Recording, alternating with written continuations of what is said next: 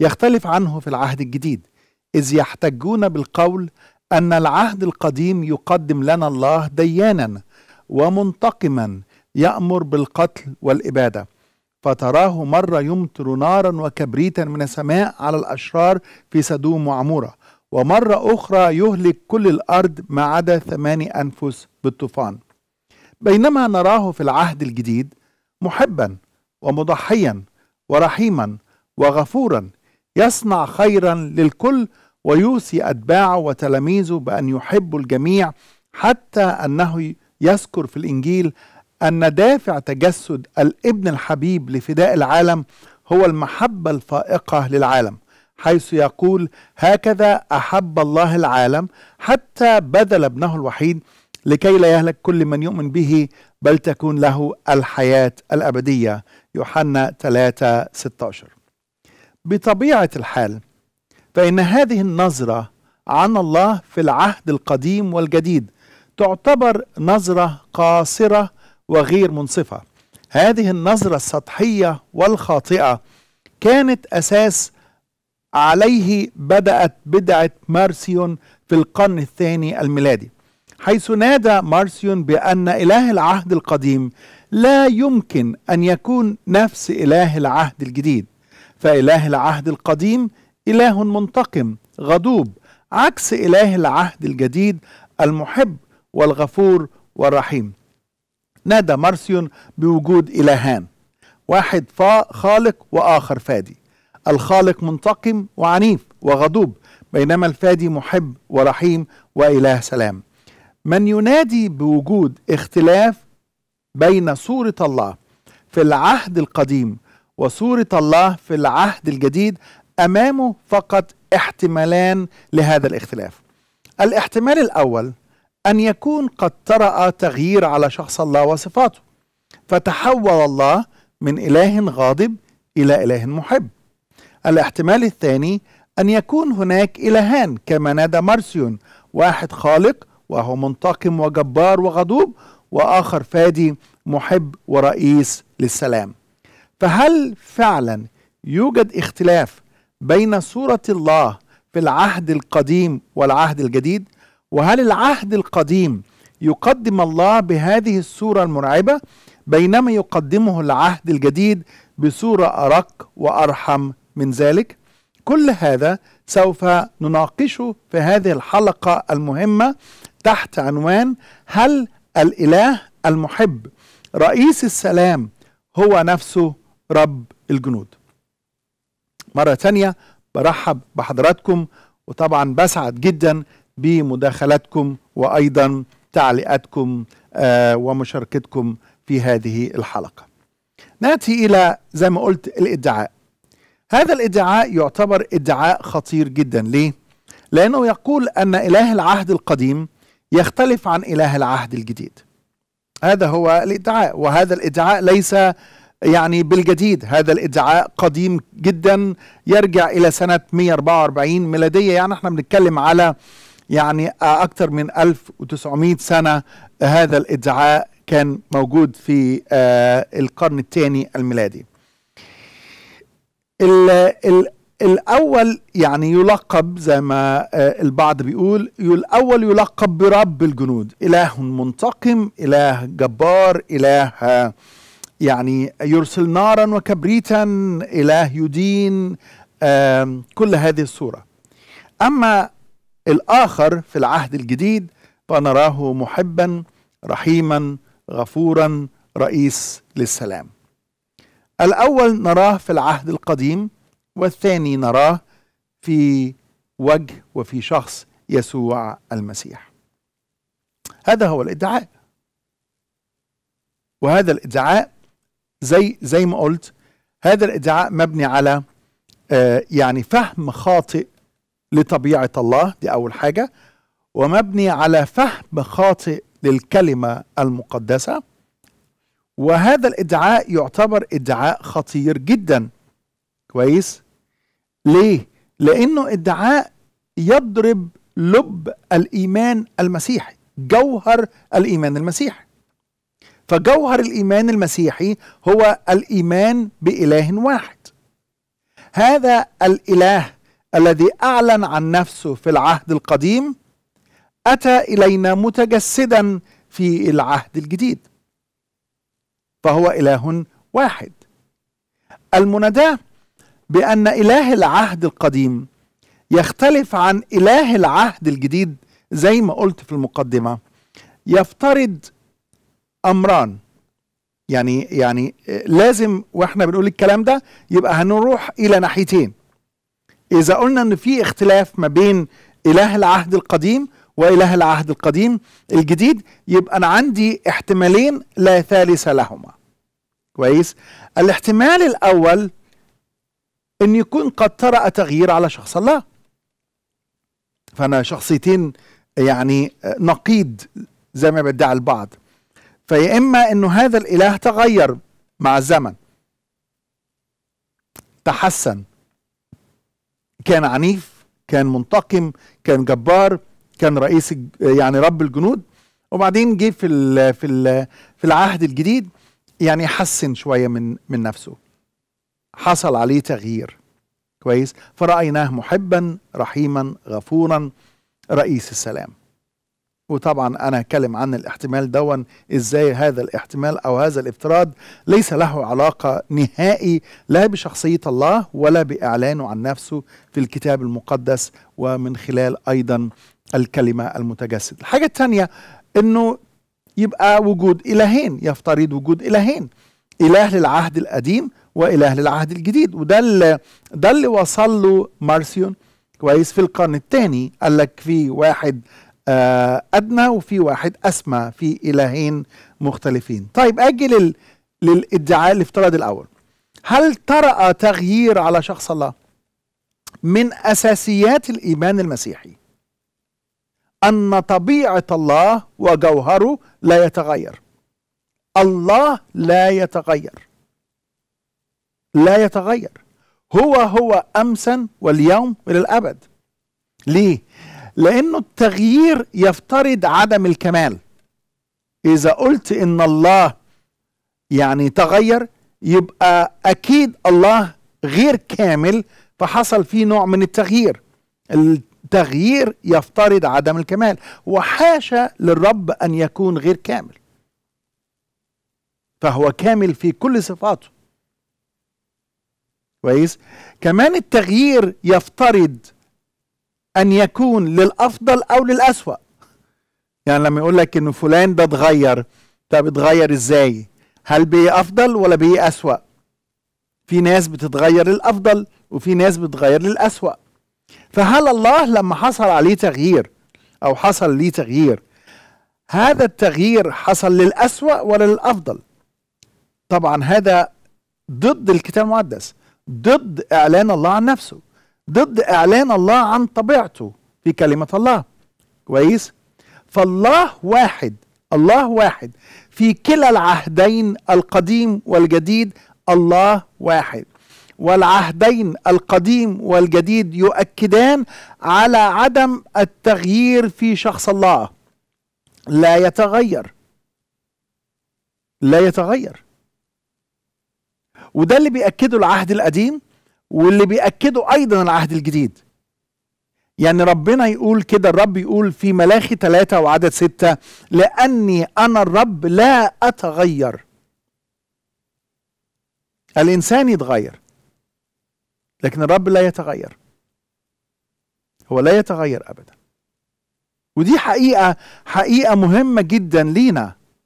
وبالحقيقة دي يعني هي مصدر رجائنا ومصدر سلامنا ومصدر طمأنينتنا ومصدر يعني آه ثقتنا في شخص الله لأن الله لو بيتغير إحنا ما نعرفش هيكون بكرة شكله إيه. يعني الله لو بيتغير دي مصيبة. كويس؟ الحاجة الثانية اللي أكدها العهد الجديد يعقوب 1 17 الذي ليس عنده تغيير ولا ظل دوران. ربنا ما عندوش تغيير ولا ظل دوران. فإله العهد الجديد هو هو نفسه إله العهد القديم. الإله الذي أعلن عن نفسه في العهد القديم أعلن عن نفسه في العهد الجديد. وده اللي قاله أيضا كاتب العبرانيين أن الله بعدما أعلن قديما للأنبياء بأنواع وطرق كثيرة كلمنا في هذه الأيام الأخيرة في ابنه. فالكتاب المقدس كله كل الكتاب المقدس هو تاريخ الخلاص. تاريخ الخلاص. وحدة واحدة. اللي فيه شخص الرب واحد. اللي قالها العهد القديم إنك تحب الرب إلهك من كل قلبك ومن كل فكرك أكدها أيضا العهد الجديد إنك تحب الرب إلهك من كل فكرك ومن كل قلبك ومن كل فكرك. الله لا يتغير. أساس أسا يعني أساس من أساسيات الإيمان المسيحي هو الإيمان في إله لا يتغير. لا في طبيعته ولا في صفاته. طيب نيجي للاحتمال الثاني. الاحتمال الثاني هل اللي وصل إليه مارسيون. كويس؟ مارسيون بالنسبة له إنه عدم إدراكه إنه إله العهد القديم ممكن يكون نفسه هو إله العهد الجديد. وصلوا إلى اقتناع إنه لا لا لا الصورتين مختلفتين وبالتالي إله العهد القديم يختلف عن إله العهد الجديد ويوجد إلهين واحد في العهد القديم هو الخالق واحد في العهد الجديد هو الفادي. كويس؟ ف في القرن الثاني الميلادي وبالتحديد سنة 144 ميلادية نادى مارسين السنوبي بوجود إلهين واحد أقل وآخر أسمى. ما هو يعني في الصورة اللي رسمها كويس؟ قال لك يبقى إله العهد القديم أقل والإله العهد الجديد هو الأسمى. الإله الأقل هو الخالق لأنه مارسيون أيضا كان يؤمن بالغنوسية وإنه المادة شر. كويس؟ إلى آخر هذه الأمور. الإله الأقل هو الخالق وقد أعلن عن نفسه في صفحات العهد القديم وهو إله منتقم وديان ويركز على تطبيق الناموس. كويس؟ الإله الأسمى هو الإله الفادي الذي كان غير معروف للعالم حتى جاء يسوع المسيح إلى عالمنا وهو إله صالح غير منتقم ومحب غفور ورئيس السلام. عارفين إنه ليس بجديد تحت الشمس الأفكار بت بتت يعني بتتكرر مع الزمن. الأفكار بتتكرر مع الزمن. ويوجد اليوم من يدعو إلى إنه إله العهد القديم يختلف عن إله العهد الجديد. و... وأمور كهذه كثيرة. طيب. هما بي أصحاب أو اللي عنده هذا الفكر بيقول لك إنه إله العهد القديم شوية عنده نقطة الدينونة والغضب والعنف والعقاب واضحة جدا. فنجده بيدين بيغضب يعني إله غير محب. ده ده فهل يجي هنا أطرح هذا السؤال هل الرب الإله في العهد القديم منتقم وغضوب وغير محب؟ يعني أي واحد هيقرأ العهد القديم كله. هل الصورة إذا اراه إذا أراه بعناية إذا أراه بعمق إذا فعلا أراه عشان يعرف إعلانات الله عن نفسه؟ كويس؟ فيما قاله الرب وفيما عملوا أيضا الرب وفيما اختبروا المؤمنين على مر العصور. كويس. وسجل لنا في الكتاب المقدس بالروح القدس. هل الرب الإله في العهد القديم منتقم؟ بس. غضوب؟ بس. غير محب؟ هل هل هذا كل اللي إحنا بنطلع بيه لما نقرأ العهد القديم؟ لا طبعا. هذا التصور تصور خاطئ. وهذا التصور تصور منقوص. وهذا التصور غير حقيقي عن شخص الله. لأنه أيضا نفس العهد القديم اللي بيسجل ليا دينونة الله ها على الخطاة بيسجل ليا أيضا محبة الله ورحمة الرب وغفران الله على صفحاته. وأي قارئ منصف عادل يقرأ الكتاب المقدس يقدر يوصل إلى هذه الحقيقة. كويس؟ هل تحدث العهد القديم عن محبة الله ورحمته وعطفه وطول أناته؟ أنا بطرح هذا السؤال على من يدعون بانه الرب العهد القديم هو رئيس أو أو رب الجنود إله منتقم جبار غضوب. هل العهد القديم تحدث عن محبة الله وغفرانه وطول أناته ولا لا؟ أكيد.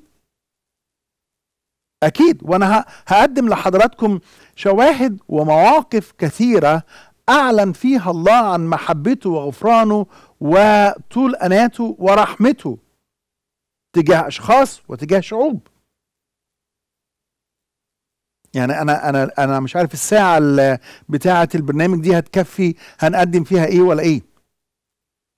لكن أحاول بقدر الإمكان إني يعني أجاوب على هذه الأسئلة بكل وضوح. محبة الله على صفحات العهد القديم. أين نجد محبة الله على صفحات العهد القديم؟ أعتقد أول حاجة بنشوفها بنشوفها عندما خلق الله الإنسان على صورته وعلى شبهه. دي أول صورة بنجد فيها قلب الله نحو الإنسان عطف الله نحو الإنسان. الإنسان الذي خلق الرب وأعطاه يعني خلق كل شيء لأجله وجعله رأس الخليقه لكن في مواقف معينة بنشوف محبة الله. مثلا معاملة الله مع قايين. قايين الذي قام على أخيه وقتله. قايين الذي يستحق العقاب يستحق الدينونة. هل الله في تعامله مع قايين أظهر رحمة وعطف ولا لا؟ اللي يقرأ أصحاح أربعة من سفر التكوين يعرف إنه إزاي ربنا تعامل مع قايين. للدرجة حتى الخوف اللي جوه قايين إن كل من يراني يقتلني. الرب تعامل مع هذا الخوف. أليست معاملة الله مع قايين؟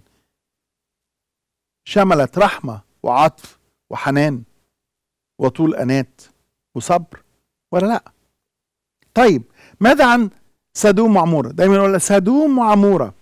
كيف أن الله يحرق مدينة كاملة بكل ما فيها؟ سدوم وعمورة لما نقرأ القصة في سفر التكوين أصحاح 18 نعرف أنه إبراهيم كان بيتشفع من أجل سدوم وعمورة. وقال للرب أديان كل الأرض لا يصنع عدلا؟ يعني أنت أنت يا رب ديان كل الأرض. مش ممكن تقتل الكويس مع الوحش. ربنا قال له طيب وريني مين الكويس في المدينة. إبراهيم ملقاش حد. خمسين مفيش. والأعداد بدأت تقل. عشرة مفيش. يقول كده أنه لو وجد بار واحد لو وجد بار واحد فيها ربنا لو وجد بار واحد فيها ما كانش هلكها مش شايفين هنا بر الله ورحمته. الإنسان عايز يخلق إله على صورته. والإله اللي عايز يخلقه على صورته هو إله cute. nice. حلو. رقيق كده. مش بار ولا عادل ولا ديان ولا قدوس. إله بس يعني آه كل اللي يعمله يعني إنه لا يدين أحد ولا يهلك أحد. ده اللي عايز يعمله الإنسان. يخلق إله على صورته. ده حتى الإنسان حتى الإنسان هو عكس الصورة اللي عايز الله عليها. يعني الإنسان عايز البر ده لو إنسان بار يعني عايز العدل لنفسه يعني. لكن هو عايز يخلق إله يخلو من العدل ويخلق ويخلو من البر. إله على مزاجه. كويس؟ هل أعلن الله عن محبته وصفاته في العهد القديم؟ بكل تأكيد. من أشهر الآيات إعلان الرب عن صفاته لموسى. لما يقول كده الرب عن نفسه الرب إله رحيم ورؤوف. رحيم ورؤوف. الرحمة تعني إن الرب يرفع عن الإنسان ما يستحق من عقاب. دي الرحمة.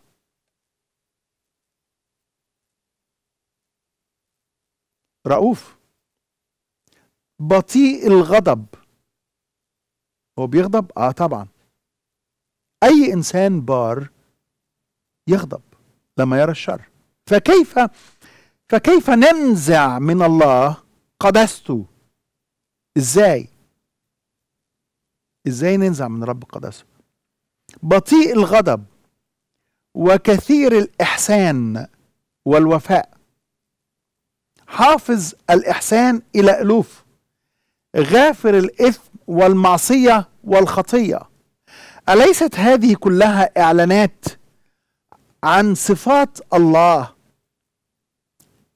وعن محبته ورحمته طول أناته إحسانه وفاءه غفرانه. ويجي واحد يقول لي لأ إنه سورة الله في العهد القديم إله منتقم. ديان. غضوب.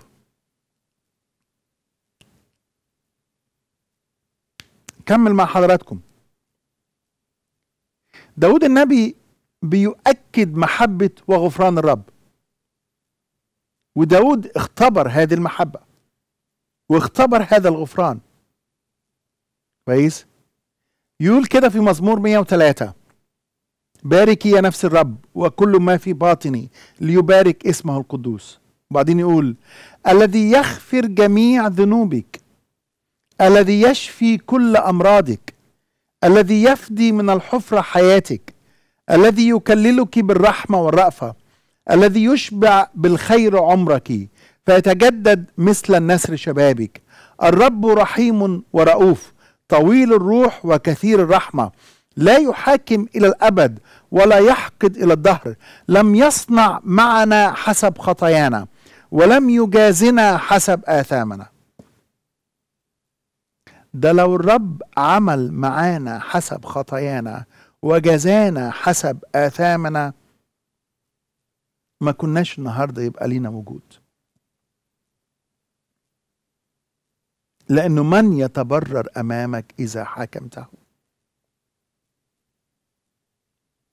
لأنه مثل ارتفاع السماوات فوق الأرض قويت رحمته على خائفيه كبعد المشرق من المغرب أبعد عنا معصينا أليس هذا إعلان إعلان بالروح القدس عن طبيعة شخص الرب.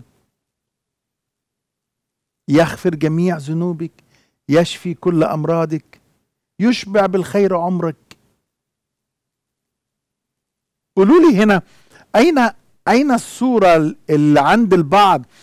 الانتقام والدينونة والهلاك و الغضب اللي شايفينه في شخص الله.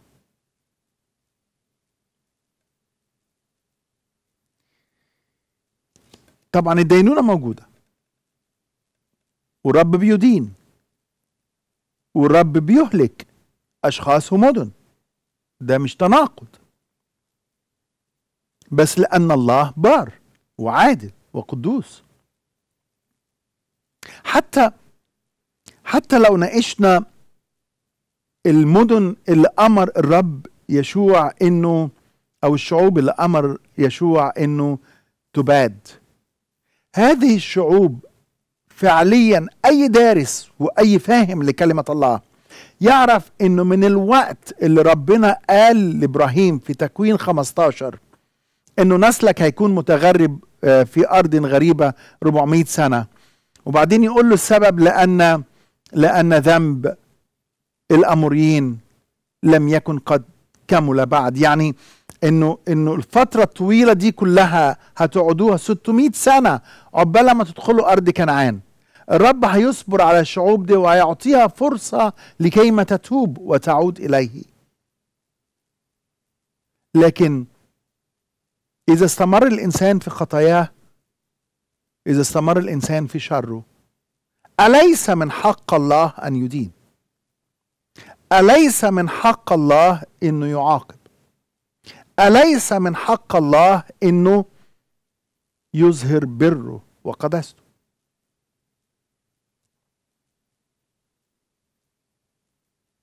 طيب مزمور آخر مزمور 145 يقول كده الرب حنان ورحيم طويل الروح. يعني أنا أنا بجيب الآيات دي ليه؟ الآيات دي من العهد القديم.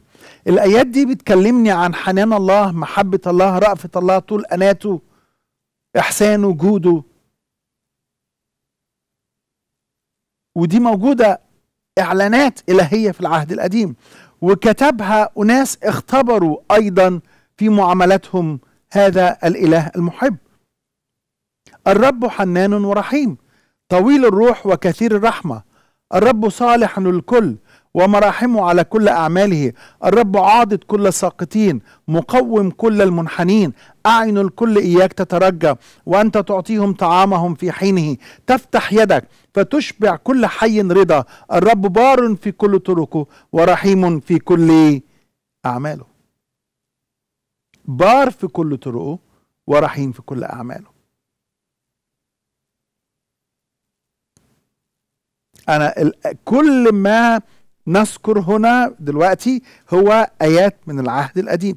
بتجاوب على السؤال هل العهد القديم يحتوي على نصوص تؤكد محبة الله ورحمة الله وغفران الله وطول أناته أم لا؟ ليه الذين يدعون أن إله العهد القديم إله منتقم يختلف عن إله العهد الجديد ليه ما بيرجعوش للنصوص دي؟ ليه ما بيذكروش النصوص دي؟ لأنها مش مش هتخدم غرضهم. أو لأن عندهم تفكير ناقص غير كامل.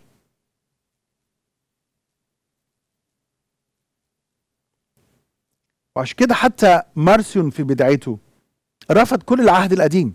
واحدة من أسباب آآ آآ آآ يعني جمع الكتاب المقدس كوحدة واحدة في أسفار بنسميها قانونية الأسفار المقدسة كان واحد من الأسباب أن الكنيسة الأولى أرادت أن تؤكد ما هي الأسفار المقدسة وما هي الأسفار الغير مقدسة.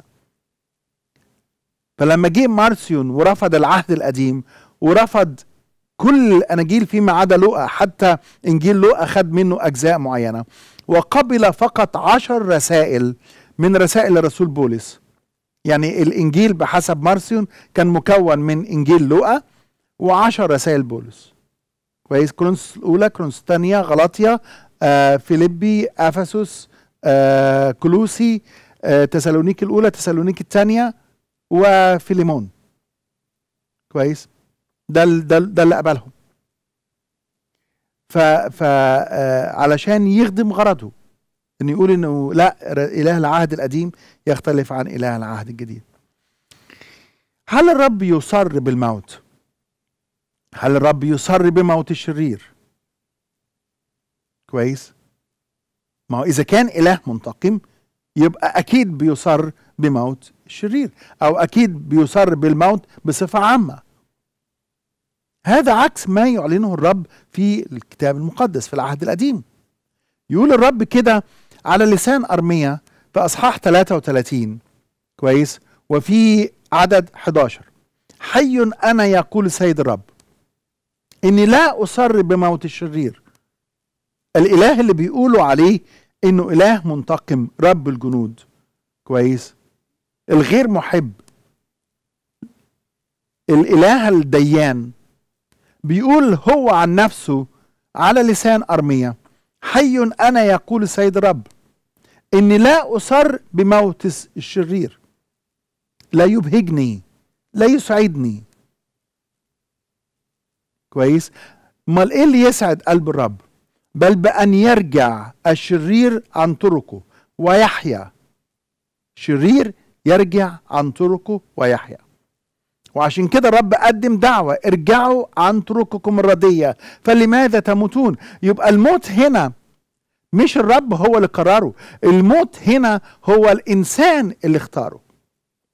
الإنسان اختار الموت. الإنسان اختار الموت.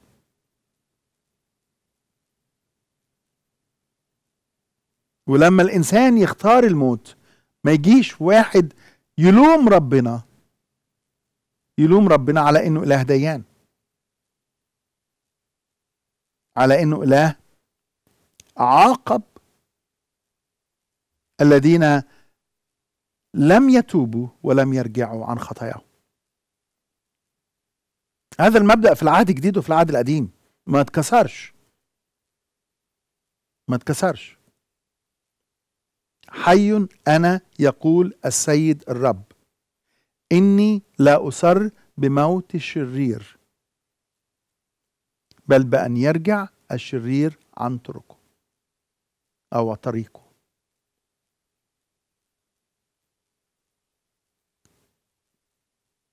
دي طبيعة الله. دي محبة الرب. دي رحمته. ده غفرانه.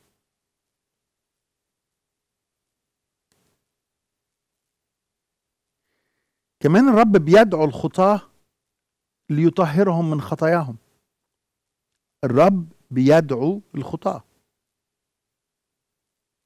عشان يكون ليهم حياة وحياة أفضل.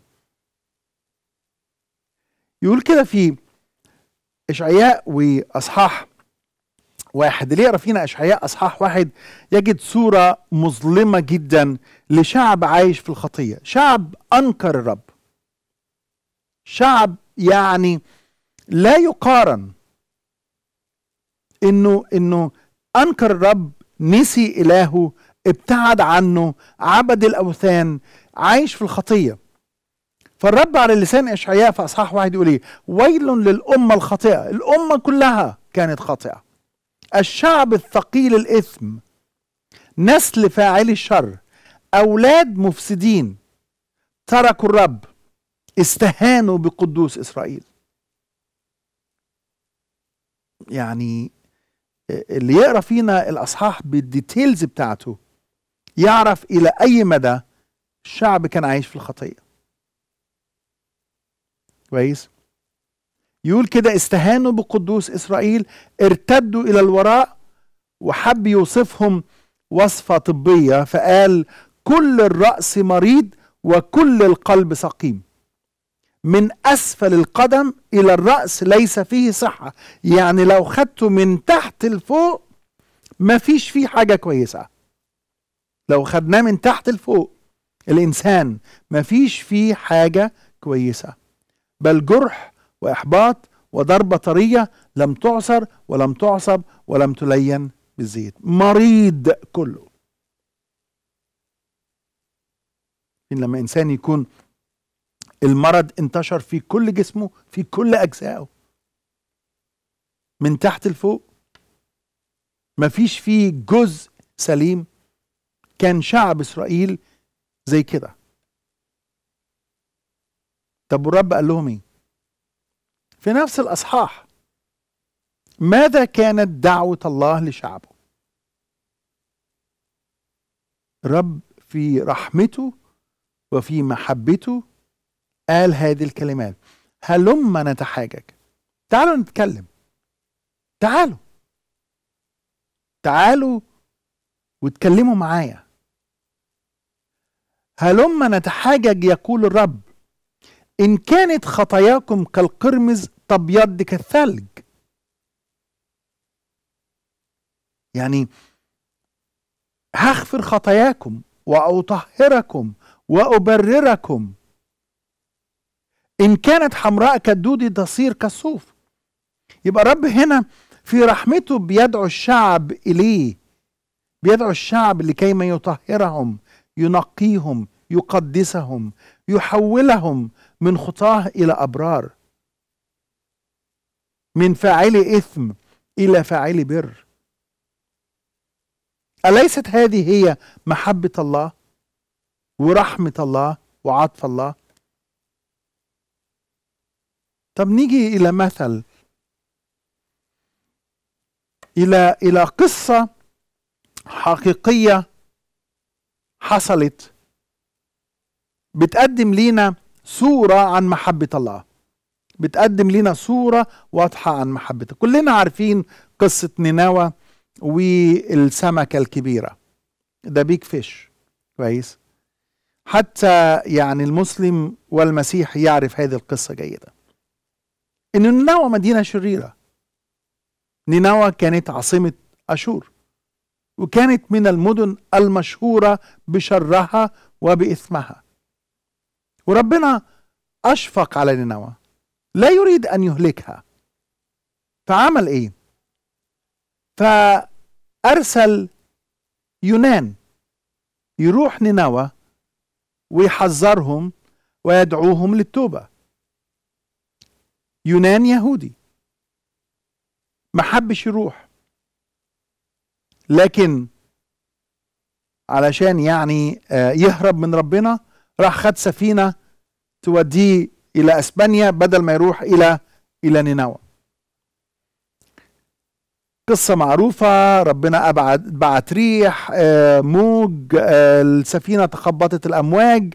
اضطروا يرموا يونان في الأثقال بتاعتهم وبعدين قالوا إحنا نرمي قرعة. أكيد في حاجة غلط رموا قرعة وقعت على يونان رموا يونان في البحر. جت سمكة كبيرة بلعت يونان وبعد ثلاثة أيام كويس يونان قذفته السمكة دي على ناحية الشط بعدما تاب وصلى واعترف إلى آخره. وراح ولما راح هناك راح هو مغصوب. بس بدأ ينادي في المدينة المدينة تابت ورجعت. المدينة تابت ورجعت. لكن من بسبب بسبب الحر بسبب الحر ربنا أشفق على يونان وعمل يقطينة. كويس؟ تظلله كده. نبتة ربنا طلعها. تظلل عليه من الحر لكن تاني يوم النبتة دي دبلت وماتت فزعل يونان فربنا حب يعلمه درس فقال الرب أنت شفقت على اليقطينة التي لم تتعب فيها ولا ربيتها أنت لا أنت عملتها ولا كبرتها ولا تعبت فيها ولا أي حاجة. التي بنت ليلى كانت وبنت ليلى هلكت.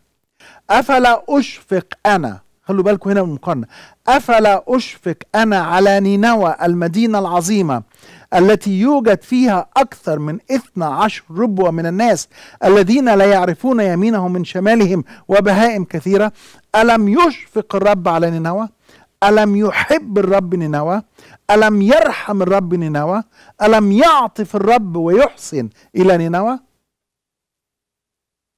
ويجي واحد يقول لك أصل إله العهد القديم إله منتقم. طيب خلوني أخد مداخلة وأرجع أكمل مع حضرتك. أخت فريال؟ ألو؟ ألو أخ أشرف؟ أهلين بيك أخت فريال. أهلا بك أخي العزيز. سلام ونعمة المسيح سلام. ونعمة.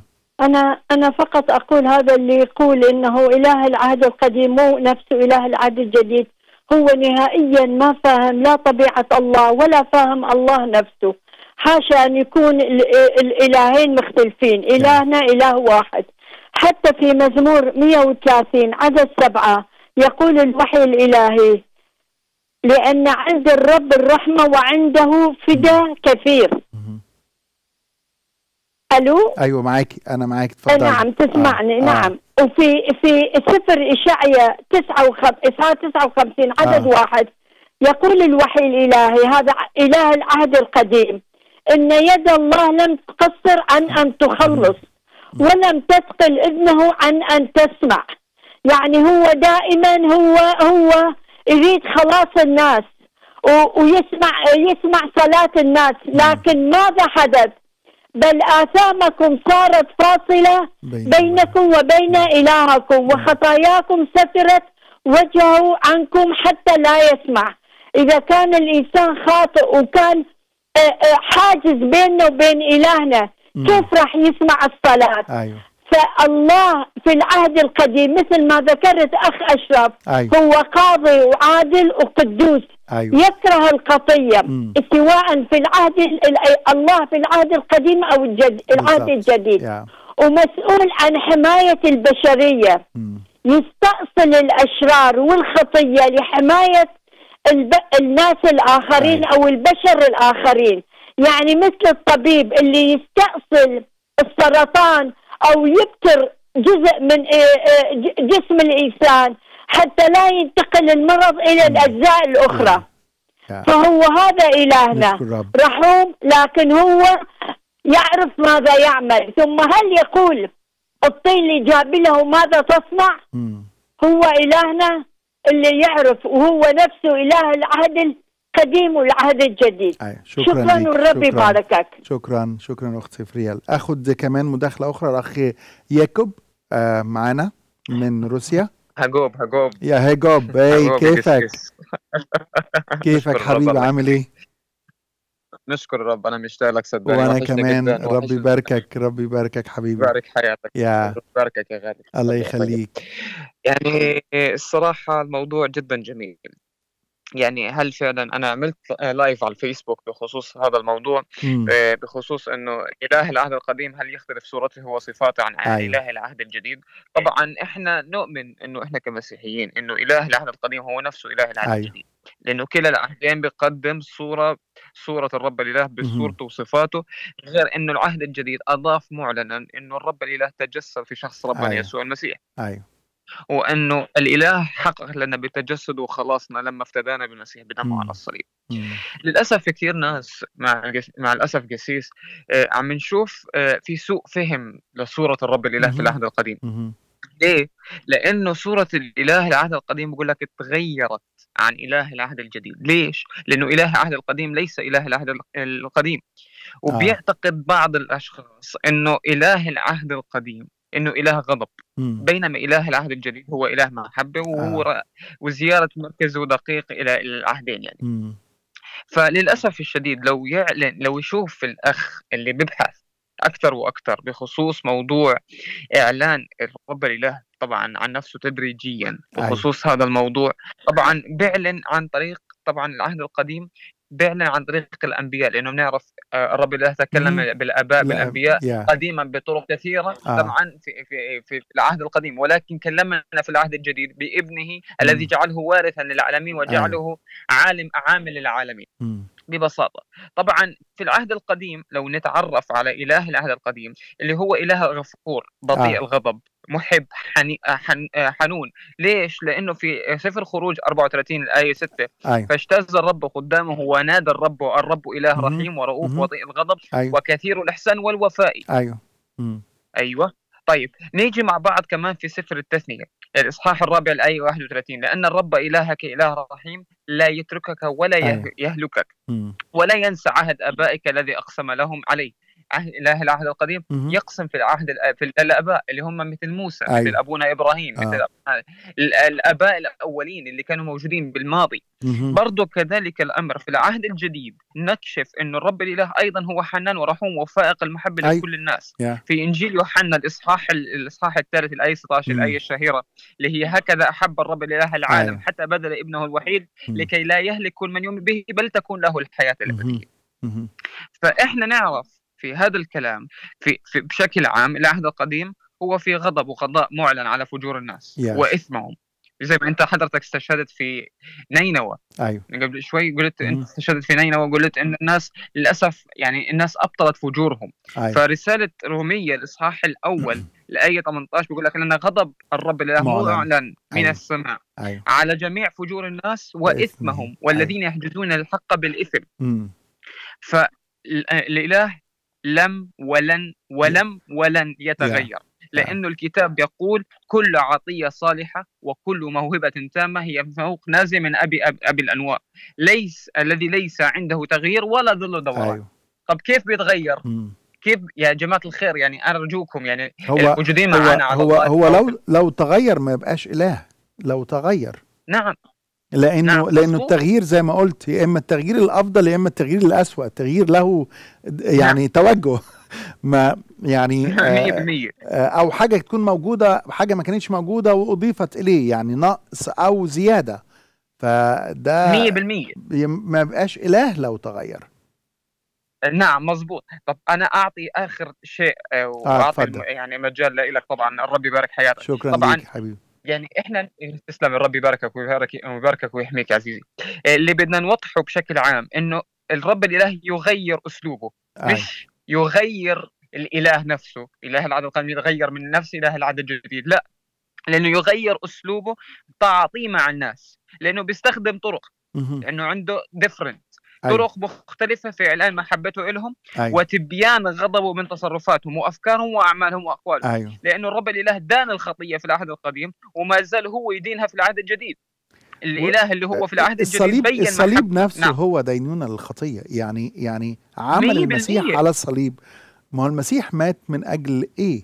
مات من أجل الخطايا نعم فده ده إعلان نعم، لبر الله بجانب محبته يعني مزبوط صح مم. فإحنا لو نيجي مع بعض مرة ثانية وآخر شيء يعني أنت و- يعني وضحت أنت كنت الكلام لسه على لساني زي ما بقولوها فالكلام في العهد القديم اللي إله لما وعد الإنسان بالخلاص على لسان الأنبياء وعلى لسان اولهم أشعياء لما ذكر عن خلاص جاي خلاص اسمه عمانوئيل أيوه يهوى معنا إلهنا معنا الله معنا كل شيء عم بتكلم عن عمل المسيح الكفارة على الصليب يس. ليش سمي العهد الجديد قسيس لأنه أها. هو عهد النعمة هو. عهد الخلاص الذي صار بتناول كل من يطلبه بإيمان وتوبة أيوة. صادقة وأمينة ده حقيقي. يعني وهو أصلا إله العهد القديم. يس كلمة لا يا. جوا أشكرك أشكرك أخي الغالي. يس. ربنا يباركك. حبيبي ويباركك شكرا ويبارك حياتك أخوي الغالي. مداخلتك الجميلة والإضافة اللي أنت أضفتها. شكرا ليك. الرب يباركك حبيبي الرب يباركك ويحميك فاشفاق الله على يونان على نينوى كلها ده حتى الرب أشفق على البهائم اللي فيها. يعني الرب مش بس أشفق على الناس أشفق على كل حاجة. فده برهان كبير على ماذا عن محبة الله من خلال هوشع. ده ده سفر كامل بيقدم لنا في صورة جميلة جدا. آه، شخص تزوج بامرأة ارتبط بامرأة زانية لكن المرأة الزانية دي تركته وأقامت علاقة أخرى لكن يسعى وراءها ويلاطفها ويحاول يرجعها ويحبها. صورة جميلة لمحبة الله مع شعب. عشان كده الرب في آه، هوشع 14 يقول إيه؟ ارجع يا إسرائيل إلى الرب إلهك لأنك قد تعثرت باسمك. خذوا معكم كلاما وارجعوا إلى الرب. كويس؟ يعني الرب الرب عايز عايز شعبه يرجع وعايز يدي الكلام للشعب اللي يقولوا للرب علشان يتوب ويرجع. يقولوا قولوا له ارفع كل إثم واقبل حسنا فنقدم عجول شفاهنا لا يخلصنا أشور لا نركب على الخيل ولا نقول أيضا لعمل أيدينا آلهتنا إنه بك يرحم اليتيم. وبعدين الرب يقول أنا أشفي ارتدادهم أحبهم فضلا لأن غضبي قد ارتد عنهم. الرب يحبهم يحب شعبه يحب الذين يأتون إليه. أحبهم فضلا. أحبهم فضلا. مش عارف أقدم ليكم إيه تاني من العهد القديم يؤكد لينا محبة وغفران وطول أنات وصبر الرب. كويس؟ لكن يجي سؤال. وإحنا بندرس العهد القديم. كويس؟ العهد القديم من حيث الحجم أكبر من العهد الجديد. كويس. ممكن التصور الخاطئ ده التصور الخاطئ ده آآ آآ عن الله في العهد القديم ومقارنته بالعهد الجديد آه، يكون سببه حاجتين عدم فهم الحاجتين. هو عدم فهم الحاجتين. الحاجة الأولانية كويس إنه الفترة الزمنية الفترة الزمنية بتاعة العهد القديم كبيرة جدا. تغطي آلاف السنين. أما فترة العهد الجديد فتغطي حوالي خمسين ستين سنة بالكتير. خلال آلاف السنين الله تعامل مع شعوب تعامل مع شخصيات معينة في التاريخ. الله خلال الألفين سنة أظهر دينونة زي ما أظهر رحمة أظهر عقاب زي ما أظهر طول أنات الرب تعامل مع شعوب كثيرة ومع أناس كثيرين. والكتاب المقدس سجل لينا معاملات الله سواء بالرحمة أو بالدينونة. كويس؟ فلما أقرأ العهد القديم أقرأ مثلا دينونة الله آه، على سدوم وعمورة دينونة الله آه، على العالم دينونة الله مثلا آه، على المصريين في وقت من الأوقات على أشور على بابل على شعبه. أنا بقرأ دينونة الله وتنفيذ هذه الدينونة. ليه؟ لأنه الفترة الزمنية طويلة جدا.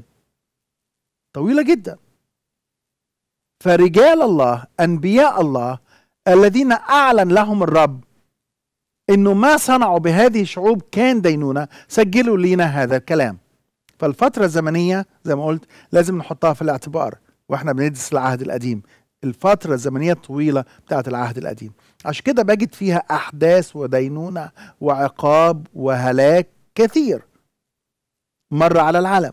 حاجة تانية إنه الدينونة في العهد القديم بتتنفذ في إطارها التاريخي. يعني هو آه، آه، قرر إنه يدين آه، شعوب كنعان لكن أعطى فرصة توبة لشعوب كنعان 600 سنة. كويس؟ شعوب كنعان لم تستفد بهذه الفرصة ولم تعود للرب فتنفذت الدينونة على يد يشوع. فأنا قريت عن اللي عمله الرب مع هذه الشعوب. فشفت ال- الإعلان وشفت التنفيذ الإلهي. اتسجل ليا. فدينونة الله نفذت في التاريخ. رأيتها. ربنا نفذ دينونته في سدوم وعمورة. ربنا نفذ دينونته في أشور في بابل إلى آخره في مصر. نفذ هذه الدينونة. فلأنه التاريخ طويل فالدينونة رأيناها منفذة. الدينونة في العهد الجديد مؤجلة مش ملغية. الدينونة مؤجلة وليست ملغية. وعشان كده العهد الجديد يعتبر فترة نعمة عصر النعمة. إن دينونة الله فيه مؤجلة أقولها مرة تاني. دينونة الله ليست ملغية في العهد الجديد. دينونة الله فقط مؤجلة. ليس معنى هذا إن الله لا يدين أحد. لا في أشياء بيعملها ربنا وبينفذها في التاريخ. بس أنا النهارده كمؤمن من أيام المسيح مثلا لحد اليوم آه اتكتب الكتاب المقدس سنة 100 ميلادية كامل الكتاب المقدس كويس. حصلت أحداث كثيرة في التاريخ. حصلت أحداث كثيرة في التاريخ. لم تسجل ليا. وما عنديش أنبياء يقولوا لي إنه ما حدث مثلا مع روما أو مع إيطاليا أو مع فرنسا أو مع أمريكا أو مع أوروبا أو مع آسيا أو مع الصين إنه ده دينونة إلهية. أنا لا ما عنديش ما عنديش الأنبياء اللي يأكدوا لي إنه ما حدث كان دينونة إلهية. لكن أكيد في أحداث كثيرة حصلت خلال الألفين سنة اللي فاتوا كانت دينونة إلهية.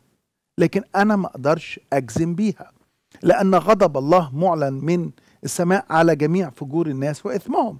فالله بينفذ دينونته بطرق كويس معينة لكن أنا ما عنديش الأنبياء لا أشعياء ولا أرميا ولا ميخا ولا هوشع ولا آخره يقولوا لي إنه اللي حصل في الحرب العالمية الأولى ده كان دينونة الله على فلان أو على الشعب الفلاني أو كذا وكذا وكذا. فبالتالي ما أقدرش لما أجي أقارن التاريخ الطويل وأقارن العهد الجديد العهد الجديد بيكلمني عن حياة الرب يسوع وما صنعه يسوع لكنه لما بيلغيش الدينونة الإلهية على العالم أو على الخطاة. دينونة الله مؤجلة لكي ما يعطي الله بنعمته فرصة للإنسان لكي ما يتوب ويعود. أجي إلى العهد الجديد بسرعة. يعني اتكلمنا عن العهد القديم لكن العهد الجديد. تعرفوا العهد الجديد طبعا هو موضوع آه نبوات موضوع تحقيق نبوات العهد القديم. الرب يسوع كان يقول يصنع خيرا يشفي. الرب يسوع تعامل مع كثيرين أظهر محبة لكثيرين. لكن عايز أقول لكم حقيقة.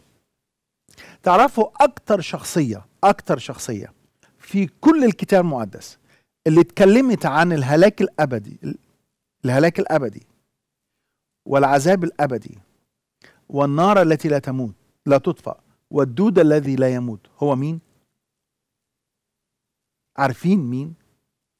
شخص الرب يسوع نفسه يسوع الذي يعني كمال المحبة كمال المحبة الذي هو إعلان كامل لمحبة الله هو أكتر شخصية أكتر شخصية اتكلمت عن الهلاك الأبدي والدينونة الأبدية.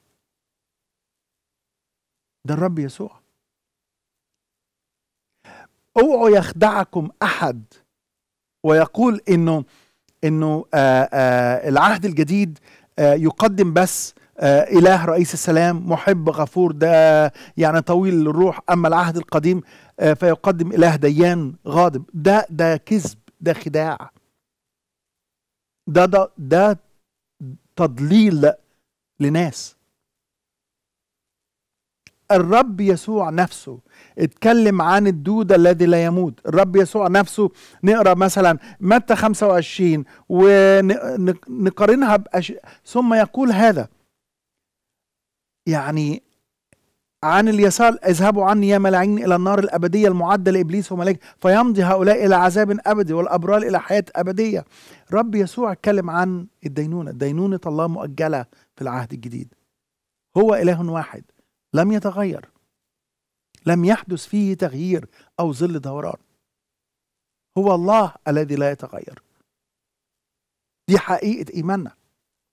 وده جوهر عقيدتنا المسيحية. إنه إله العهد القديم هو إله العهد الجديد هو يهوى هو الإله الذي تجسد هو الإله الذي أتى إلينا. وعشان كده نقرأ الكتاب المقدس ونفهم كلمة الله ونعرف مين هو إلهنا الذي لا يتغير ابدا. نلتقي في حلقة جديدة. سلام المسيح مع حضراتكم.